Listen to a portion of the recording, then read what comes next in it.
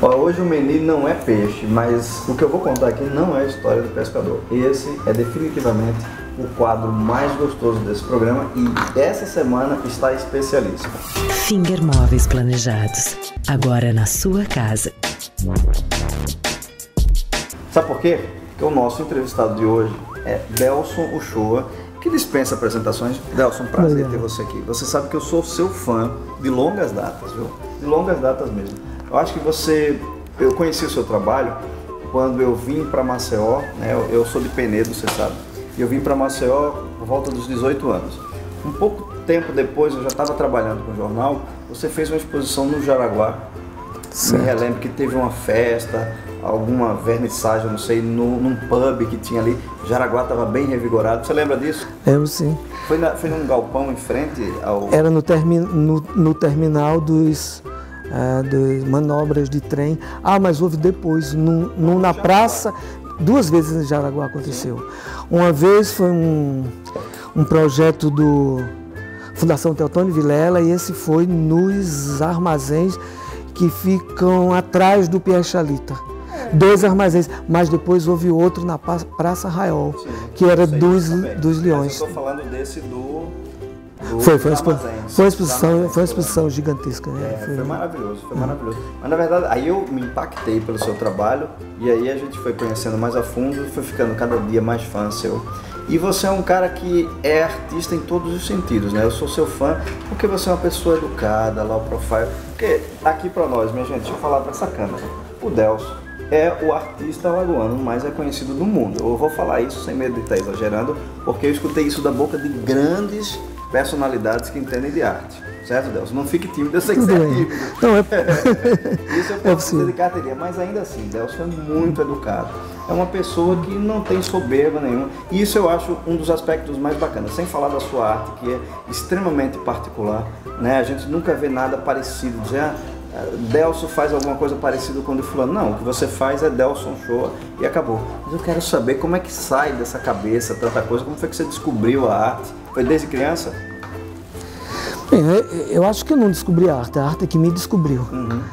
Eu comecei um curso de medicina e medicina me encaminhou para uma orientação é, humanista. E aí, através dessa orientação humanista, eu começo a perceber o ser humano, ficar interessado por, por o conhecimento dele, pelo desenvolvimento. Então, eu enveredei por. queria fazer psicanálise, psiquiatria, e enfim.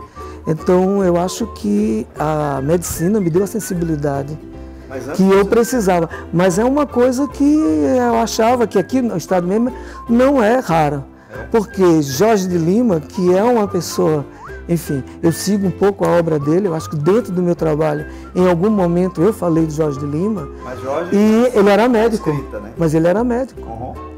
Então eu acho que a medicina, acima de tudo, ela dá uma sofisticação ao, ao espírito humano. Mas antes você não tinha feito nenhum rascunho, criança, você não gostava ah, de pintar, de nada? Toda criança é artista, né? Depois a gente deixa de ser artista.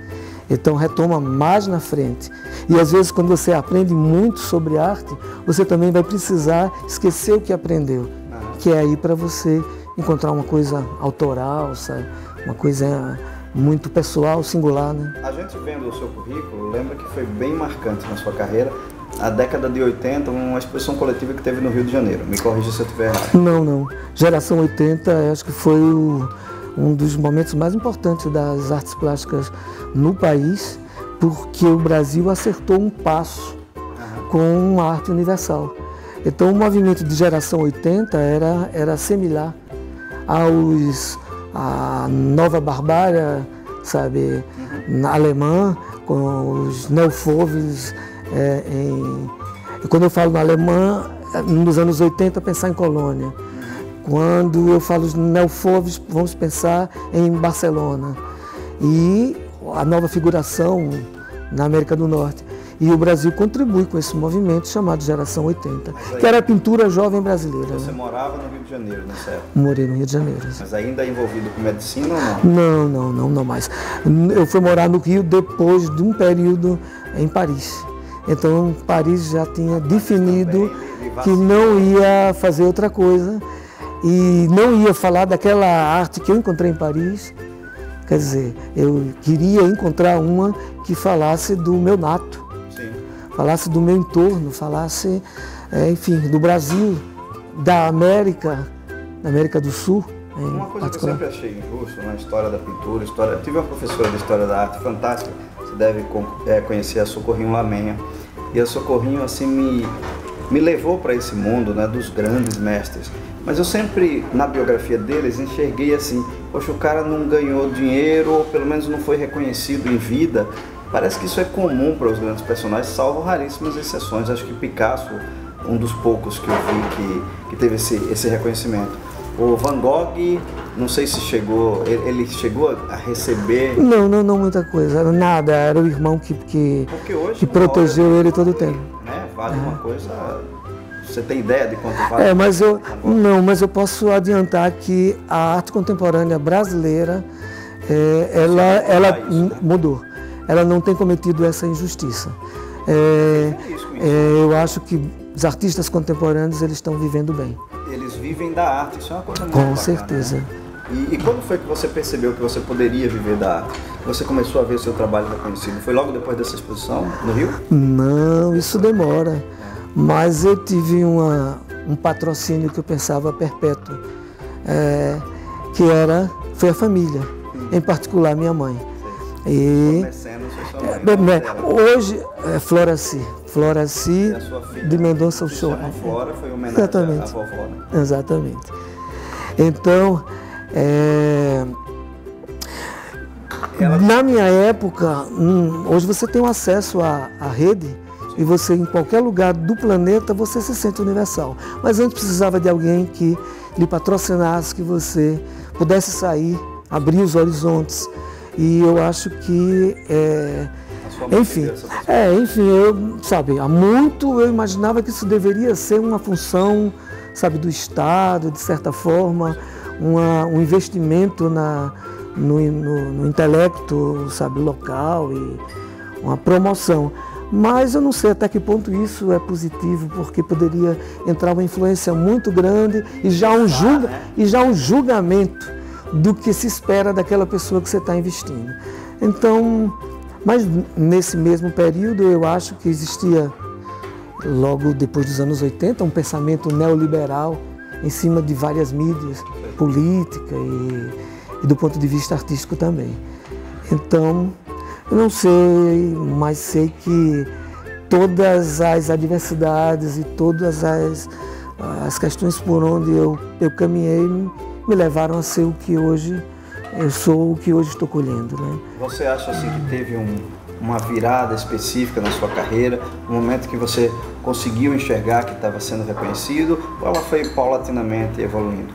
Olha, eu me reconheci logo cedo.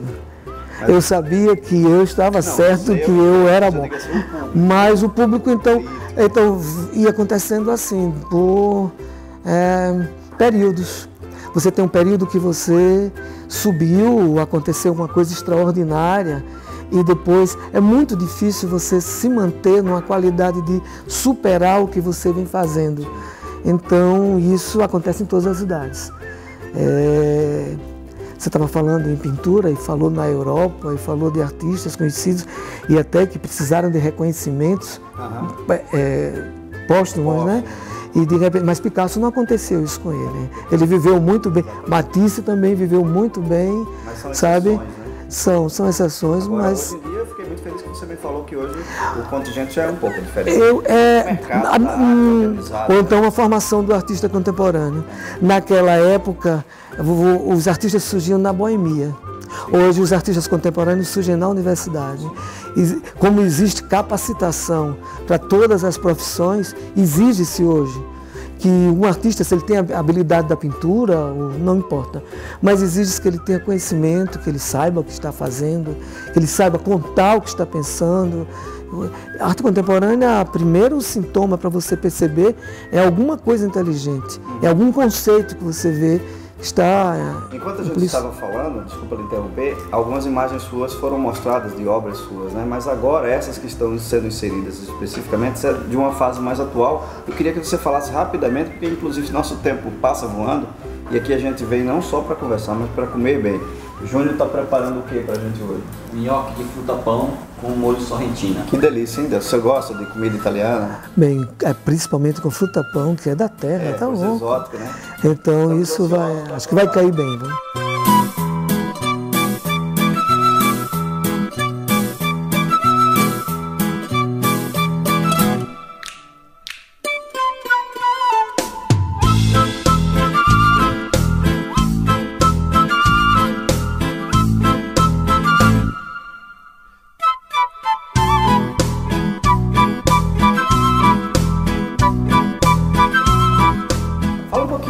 Inspiração chama O Bicho da Seda, essa fase, é isso? Bem, eu, não me sinto muito lua para ter fase, mas tem, é um processo. E é sempre soma. Era o que eu sabia com que eu, com que eu estou sabendo agora. Mesmo porque eu acredito que para a arte avançar ela precisa de uma de um alicerce que está feito de herança e tradição, que seria uma identidade sua, e o resto é experimental. Só experimentando você faz com que a coisa avance. Mas olha, essas imagens que a gente está vendo são. A gente vê que tem uma interação de cor ali numa paisagem, né? Bem, você pensou uma é... inusitada. Né? Olha, eu não estou vendo a imagem, mas eu imagino que está mostrando. É. Então deve estar tratando de umas intervenções, de uma questão da, da minha pintura, ou melhor seria, é possível que dependendo da imagem que está mostrando, eu acredito que é isso mesmo, seria o ateliê que criou pernas e está caminhando no seu nato. Então, em princípio, ele foi em busca do, de uma região ensolarada, ele foi em busca do sertão alagoano, por conta de que falar de uma temperatura de luz e cor tá? do Nordeste brasileiro, enfim, isso traduz é, América do Sul, Brasil, enfim trata-se da mesma coisa completamente diferente. Imagina que eu, quando comecei a comprar sombrinhas, e a partir do momento que eu comecei a comprar em centenas, eu não estava mais comprando sombrinhas. Eu estava comprando pigmento, eu estava comprando cor. Sim. Imagina que eu estou imaginando uma paisagem que tem uma intervenção, Exatamente sabe? Essa. Uma intervenção de luz e cor. Então imagina que eu escolho uma paisagem do sertão alagoano, né? e uma paisagem natural, e a partir desse momento eu quero decodificar e fazer com que ela se torne uma paisagem pintura. Sim. Uma paisagem pintura é, alterada exatamente ao meu paladar. Então, é, imaginei que essas sombrinhas são megapixels de desenho. Depois eu capturo através da fotografia. Que aí você tem a parceria do Celso Brandão. Do Celso Brandão e em seguida faço questão que sejam copiadas em resina de metacrilato. E para mim, isso é pintura digital. Porque uma exposição que acabou de, de, acontecer. de acontecer. em Curitiba, é, eu tratava da pintura migrando nos diversos suportes. Então, uma era a pintura digital, isso que eu acabei de explicar. Uma intervenção na paisagem, capturada pela fotografia, no caso, um grande amigo, professor de fotografia, cineasta, Celso Brandão. E logo, logo em seguida peço para ser copiado em resina de metacrilato. Tá? É, para a foto, é o que tem de mais contemporâneo, de mais novo enquanto é, reproduções de fotografia, isso faz com que a foto é, se torne um objeto, foto-objeto. E isso, exatamente, e isso para mim é pintura digital. Depois apresento a pintura plana, bidimensional, onde é, o elemento, quer dizer, o poliéster, que eram das sombrinhas tá, chinesas, que imitam seda, que eu usei no sertão, é, eu usei esse tecido como suporte e as pinturas foram feitas em cima desse tecido. E logo, logo em seguida, é, montei essa estrutura de sombrinha e criei os primeiros esféricos. E esses esféricos seriam esculturas, mas para mim não são esculturas, é pintura objeto. Então a exposição mostra a pintura digital, passa para pintura plana e pintura objeto. Então a pintura migrando nos diversos suportes.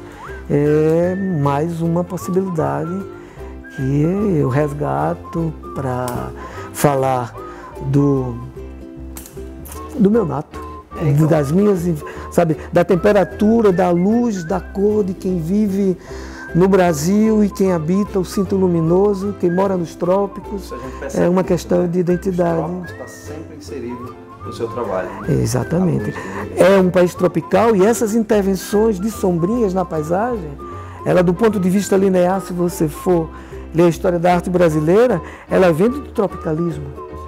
Tá? É mais um, então, né? é, é, mais uma referência. Ai, me deu até fome de tanto que falou, coisas maravilhosas aí. Vamos provar, né, Júnior? Vamos lá, primeiro nosso convidado especialíssimo aí, faça as honras da casa. Enquanto nós provamos essas maravilhas aqui, a gente vai para o intervalo comercial. Mas é só um minutinho e a gente está de volta. Aliás, deixa eu lembrar uma coisa. Delcio é muito tímido, low profile, como eu falei para vocês mas ele vai ser o grande homenageado da Semana de Moda, merecidamente, né? A Trade House que começa agora dia 19 de agosto. Então você vai ouvir falar ainda mais desse trabalho encantador do Delcio Shoa, que nos honra muito de ter um alagoano desse, que faz o mundo bater palmas para o nosso estado, para a nossa arte, para as nossas coisas. É só um minutinho, a gente vai para o intervalo e volta daqui a pouco. Vamos provar, né, Delcio? Vamos.